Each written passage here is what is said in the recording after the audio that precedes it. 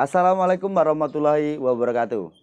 Oke, di video kali ini saya ingin menjawab pertanyaan dari teman-teman yang sudah masuk di WA saya dan di kolom komentar seputar bagaimana merawat burung mabung atau burung yang menjelang mabung. Oke ya, simak terus videonya.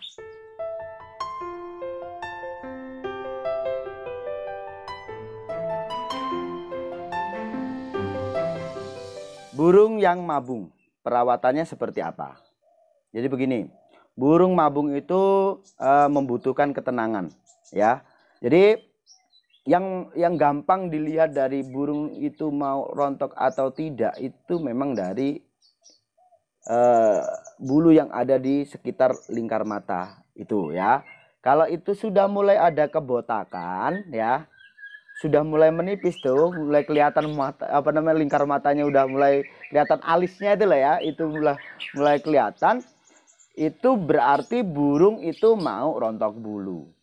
Gitu ya. Cuma uh, walaupun bulunya jelek ya, ya memang memang secara tidak langsung ya, memang burung kalau mau rontok bulu itu bulunya jelek. Tapi bukan berarti bulu jelek itu pasti akan rontok bulu. Belum tentu gitu kan ya. Karena jeleknya bulu itu bisa jadi disebabkan karena sering kita mandikan burung itu dengan jemuran yang lama ya. Biasanya uh, bulu bulu apa namanya burung jemur itu waktu setelah mandi langsung jemur tanpa harus dikeringkan dulu itu bisa juga itu menyebabkan bulu bulunya jelek ya Terus bisa jadi uh, apa namanya karena kita kurang bersih dari jadi uh, sifat kotoran itu kan asam ya. Jadi bulu ekor biasanya yang gampang rusak itu karena dia kena kotoran burung itu sendiri. Itu bisa jadi bulu bulunya akhirnya jelek ya. Terus apa penanganan untuk burung rontok bulu gitu kan.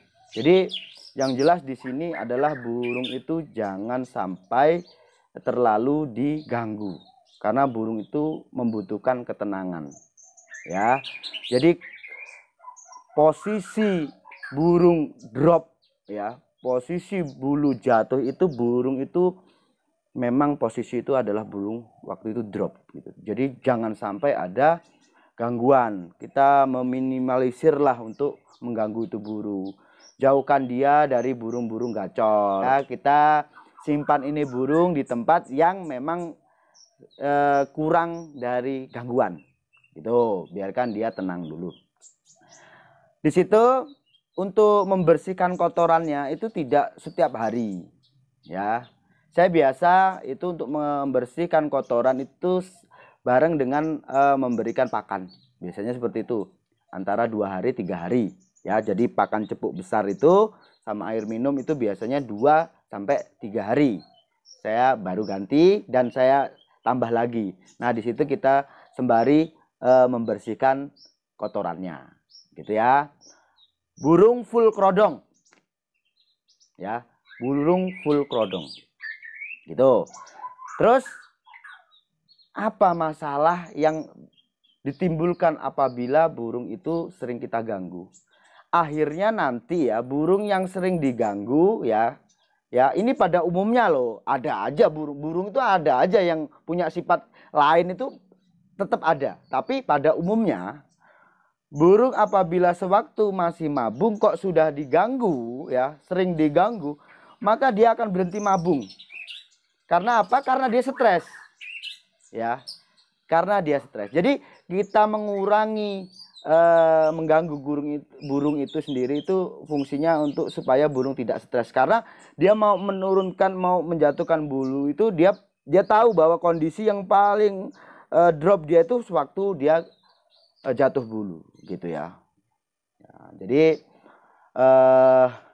itu nanti apabila burung sering diganggu akhirnya dia berhenti berhenti apa namanya berhenti rontok itu tadi yang menyebabkan burung akhirnya tidak e, total mabung ya. Dan itu masalah. Karena apa? Nanti sewaktu burung mau kita lombakan akhirnya burungnya jatuh lagi jatuh lagi. Akhirnya burung tidak bisa top perform. Terus ada juga teman-teman Mas bu, burung saya itu barusan rontok ya kan? Terus kok empat bulan apa lima bulan gitu dia bilang itu kok rontok lagi. Nah itulah itu burung bisa juga rontok itu dikarenakan dia tidak bisa beradaptasi atau burung yang stres. Jadi adaptasinya kurang bagus itu bisa menyebabkan dia juga rontok bulu.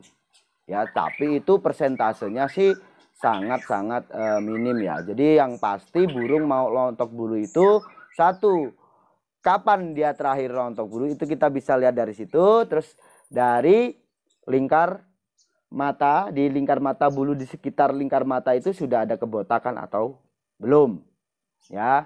Kalau sudah ada kebotakan berarti dia waktunya rontok bulu. Gitu ya burung itu sudah waktunya rontok bulu nih. Mas bulu sudah di lingkar mata sudah ada kebotakan burungnya sudah jelek bulunya.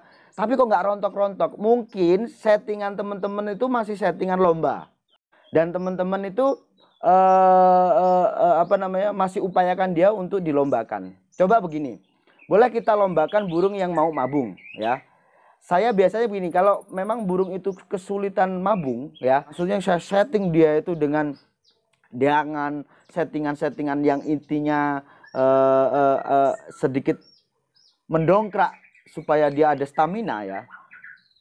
Saya saya gantangan dia. Setelah itu besoknya saya dropkan dia. Jadi dia ada sifat kaget di situ ya. Yang tadinya makan enak porsinya luar biasa akhirnya drop nggak makan uh, enak itu tadi. Nah itu bisa memancing dia juga rontok bulu. Bisa juga teman-teman berikan aroma-aroma yang uh, setidaknya uh, menyengat. Bisa juga ada dulu tuh yang memakai uh, dari apa namanya dari pandan ya. Pandan daun pandan yang dimasukkan dalam uh, sangkar dan dikerodong. Itu bisa kan baunya menyengat. Terus ada juga yang dari kulit jeruk dimasukkan di sangkar dikerodong itu kan baunya menyengat ya.